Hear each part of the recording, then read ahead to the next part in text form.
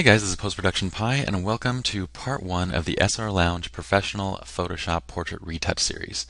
Now, in this retouch series, we're going to be teaching you guys how to take this original RAW file, this is zeroed out, and turn it into this final Photoshopped image.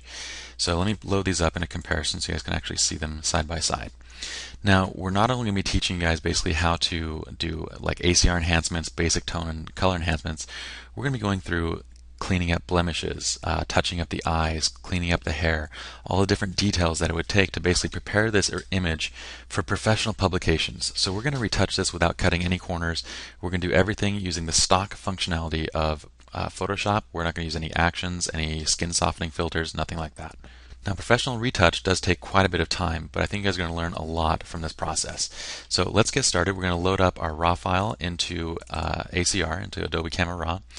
You guys can download this raw file from the actual article itself in the exercise files. Alright, now ACR has applied some default developed settings to this image already, so let's go through and just make some tweaks. So the first thing I want to do is just pull down my temperature a little bit. Let's go down to about 4400. Uh, now a lot of this, again, it's preferential. I just want to get this image to a basic color corrected state.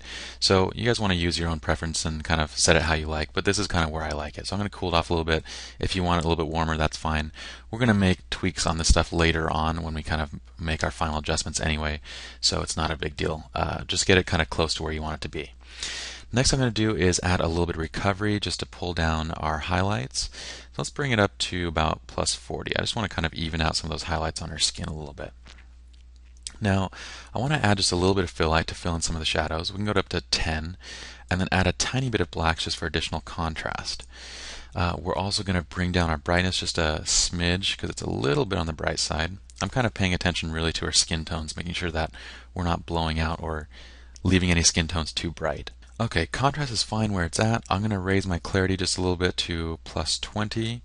We're going to add a tiny bit of vibrance as well, just to get a little bit of extra pop in this image, at least in the colors. And we'll leave saturation where it's at. Now, one of the things I'm noticing right now is that this image is actually a little bit soft. It looks like it was shot at f2 and we didn't quite nail that focus. So it's a little bit front focused on the hair, um, but it's close enough. What we can do is just make some uh, sharpening adjustments to kind of fix that. So let's zoom to 100% so that uh, we can kind of do some sharpening and see pixel to pixel preview. Uh, I'm going to go to my detail enhancements panel and then we're going to drag up the sharpening amount. And I can take it up pretty high. Because we misfocused, we're going to need to add quite a bit of sharpening. So I'm going to take it up to maybe about plus 100. Let's add a thicker radius. And then what I want to do is leave uh, detail somewhat low. I'm going to leave it about 30 uh, just because I don't want to, actually I'm going to pull it down a little bit more. I don't want to enhance too much of the fine detail in the skin. So I want to leave that a little bit lower and I'm also going to bring up my masking to about 20 as well. And what this is going to do is if I hold Alt and click on mask, what you see basically is uh, a mask of what's going to be affected. So at zero, everything in the image is going to be sharpened the same way. As you increase the mask, it's removing fine detail from uh, the mask, uh, from the from the sharpening filter. So basically, what's happening is you're only sharpening thicker lines, as you can see as we get up higher. So I'm going to leave my mask at kind of around 20 as well.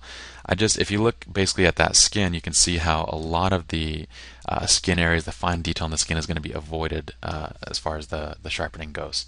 So at 20 is about good. I think everything else is good. Let's zoom back out just to double check. Yeah, everything else is fine. Let's load this up into Photoshop now by hitting Open Image. Alright, so we're done with ACR. Let's move on to part two, where we're going to start with removing blemishes and any other unflattering skin detail.